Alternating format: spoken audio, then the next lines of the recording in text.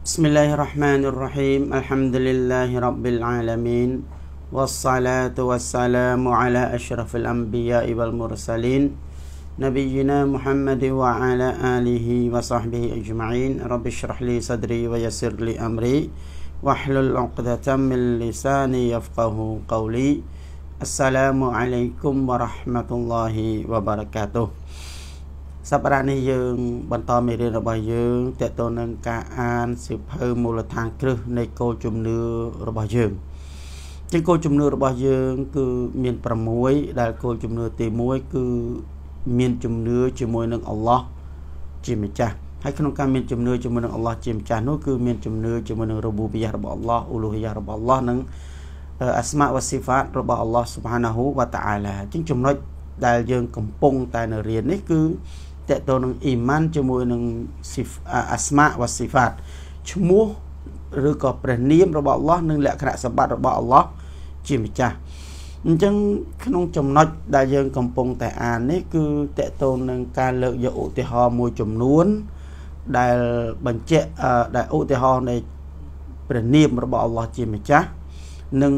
លក្ខណៈសម្បត្តិរបស់អល់ឡោះជាម្ចាស់ដែលដកស្រង់ចេញពីគម្ពីរអល់កុរអានហើយនិងសុណារបស់នប៊ីយើងមូហាម៉ាត់ សល្លឡោះអាឡៃហ៊ីវ៉ាសាឡាំហើយឧទាហរណ៍ដែលយើង បានលើកយកមកកន្លងមកនោះមានឈ្មោះអល់ឡោះអលហៃអលកាយូមអឺហើយនឹងអលហាមីតអលហៃអលកាយូមអលហាមីតអញ្ចឹងថ្ងៃនេះយើងនឹងលើកយកបន្តទៀតគឺតកតនឹងឈ្មោះរបស់អល់ឡោះស៊ុបហានាហ៊ូវតាអាឡាដែលមានឈ្មោះថាអររ៉ាហ្មានអររ៉ាហ៊ីមចឹងឈ្មោះរបស់អល់ឡោះដែលមានឈ្មោះថាអររ៉ាហ្មាន អររ៉ាហ៊ីមតើមានន័យយ៉ាងដូចម្ដេចអររ៉ាហ្មាននិងអររ៉ាហ៊ីមអររ៉ាហ្មាននិងអររ៉ាហ៊ីមមានន័យថាមហាមេត្តាករុណា ចំពោះមនុស្សសត្វទូទៅ និងមហាអាណិតស្រឡាញ់ចំពោះអ្នកដែលទ្រង់ស្រឡាញ់ចំពោះអ្នកដែលទ្រង់ស្រឡាញ់បានន័យថាអររ៉ាហ្មានគឺមហាមេត្តាករុណាចំពោះមនុស្សសត្វទូទៅ បានន័យថា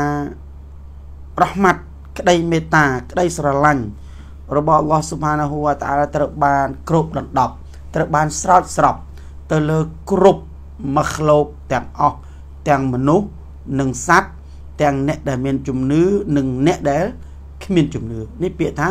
អររ៉ាហ្មានតែដល់ឡែកពាក្យថាអររ៉ាហ៊ីមានន័យថាមហាអាណិតស្រឡាញ់ចំពោះអ្នកដែលទ្រង់ស្រឡាញ់អញ្ចឹងគឺជាក្តីមេត្តាគឺជាក្តីស្រឡាញ់ដែលអល់ឡោះបានប្រទាន ទៅកាន់អ្នកដែលទ្រង់ចង់ប្រទានតែអ្នកនោះគឺអ្នកដែលមានជំនឿចំពោះទ្រង់ដែលទ្រង់ប្រទាននៅក្នុងលោកីនេះនឹងប្រទាននៅថ្ងៃបរលោកជាលក្ខណៈពិសេសជាលក្ខណៈ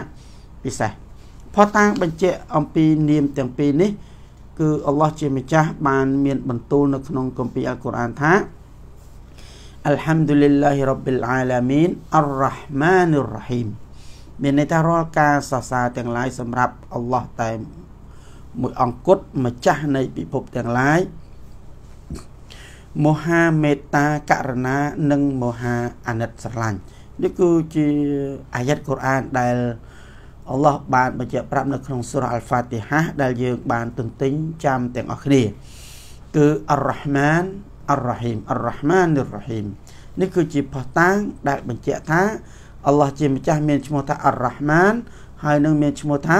អររ៉ាហ៊ីមអររ៉ាហ្មានដែលប្រទាននៅក្តីស្រឡាញ់ដែលប្រទាននៅក្តីមេត្តាករុណា ទៅចំពោះបណ្ដាអឺភាវៈដែលទ្រង់បានបង្កើតទាំងអស់ហើយអររ៉ាហ៊ីមគឺអ្នកដែលគឺអ្នកដែលមានអឺអ្នកដែលមានក្តីមេត្តាករុណាបានដែលប្រទានទៅចំពោះអ្នកដែលអល់ឡោះ ស្រឡាញ់ជាពិសេសតែប៉ុណ្ណោះជាពិសេសតែប៉ុណ្ណោះផតាំងនៅក្នុងសុណាដែរគឺហាឌីសរបស់នប៊ីយើងមូហាម៉ាត់សល្លឡោះអាឡៃសាឡាមមួយដែលមានសេចក្តីថាអាមរ៉ាននប៊ីយសអាមរ៉ាននប៊ីយសល្លឡោះអាឡៃហ៊ីវ៉ាសាឡាម كاتبه يوم الحديبية عند كتابة الصلح بينه وبين المشركين أن يكتب بسم الله الرحمن الرحيم មានន័យថា នៅក្នុងអឺនប៊ីសល្លឡោះសាឡាមបានបញ្ជាអ្នកកត់តារបស់លោក នៅថ្ងៃចរចាហ៊ូដៃប៊ីយ៉ាបាននៅថ្ងៃដែលអអឺនប៊ីយើងសល្លឡោះអាឡៃសាមលោកបានចរចាជាមួយនឹងពួកមូស្យរិគីននៅទឹកដីម៉ាកានៅពេលដែលលោកទៅធ្វើអ៊ុំរ៉ោះគឺបានចរចាគ្នានៅកន្លែងមួយដែលមានឈ្មោះថាអលហ៊ូដៃប៊ីយ៉ានៅពេលដែលចរចានោះលោកបានបញ្ជាអ្នកដែលកត់ត្រាអ្នកដែលកត់ត្រាហ្នឹង ក្នុងគណៈសរសេរកិច្ចសន្យារវាងលោកនិងពួកមូស្យរិគីនហ្នឹងឲ្យសរសេរកត់ត្រាកត់ត្រាថាប៊ីស្មិលឡាហ៊ីររ៉ាហ្មាននិររ៉ាហ៊ីមដែលមានន័យថា ក្នុងនាមអល់ឡោះជាម្ចាស់មហាមេត្តាមហាករណាមហាអាណិតអាណិតស្រឡាញ់អញ្ចឹងនេះគឺជាផុសតាងដែលបញ្ជាក់ថាអល់ឡោះជាម្ចាស់មានឈ្មោះថាអររ៉ាហ្មាននិងអររ៉ាហ៊ីមដែលយើងបានបញ្ជាក់ប្រាប់ដោយដែលបានស្ដាប់ទាំងអស់គ្នា